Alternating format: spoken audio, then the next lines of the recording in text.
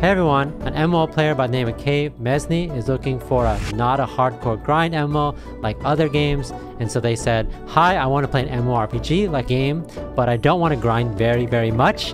I don't want to spend three months and still be much below the most the players. I want to be an endgame player after playing three months. Not lifeless playing, I could play five, six hours per day. I don't want to pay to win or pay to progress, but I'm okay with pay to play.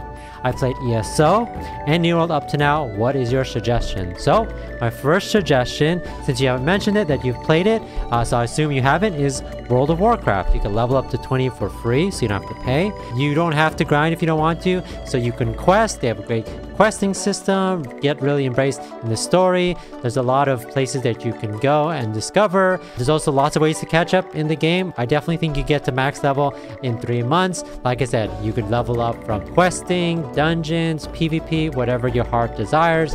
Uh, and like I said, you are looking to be an endgame player, so I assume you want to do endgame stuff. And World of Warcraft has a ton of endgame content dungeons, raids, and of course for new players, if you don't know anyone, uh, you can always do LFR looking for a uh, to quickly pick up, do some endgame content, and then move on with your life.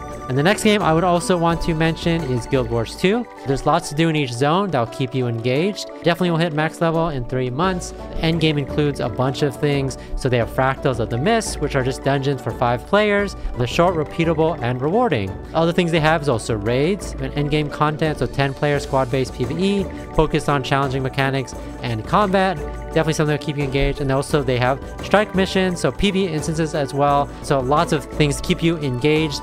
And in case PvE isn't your thing, there's also endgame PvP, or you can also do World vs. World. So tons of things to think about and consider. So definitely check them out. But if you guys have any other MMOs you think they should check out, uh, leave it in the comment below.